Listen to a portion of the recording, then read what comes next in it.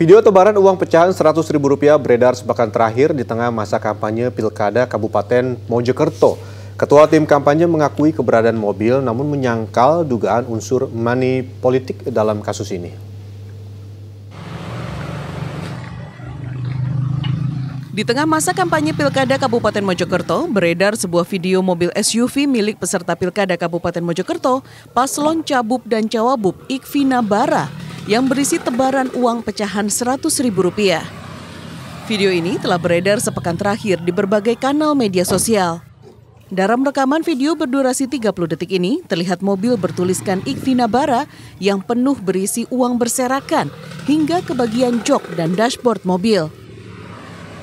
Ketua tim kampanye Ikvina Bara mengakui mobil itu adalah milik salah satu tim kampanye Iqbar bernama Najib. Pihaknya juga akan meminta penjelasan sang pemilik mobil.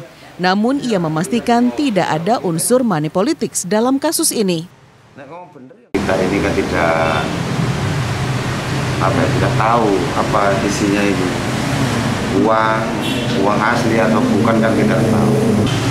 Ya saya saya juga kaget apa ini motifnya saya juga nggak tahu.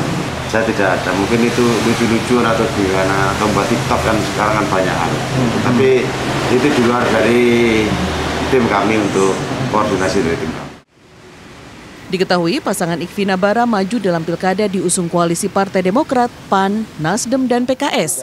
Dr. Ikvina Fatmawati adalah mantan istri Bupati Mojokerto Mustafa Kamal Pasha yang kini menjalani hukuman di Lapas Porong karena ditangkap KPK dalam kasus gratifikasi jabatan sebesar 84 miliar rupiah.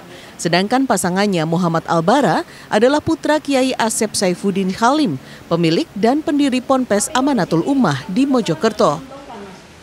Agung Wibowo, Mojokerto, Jawa Timur.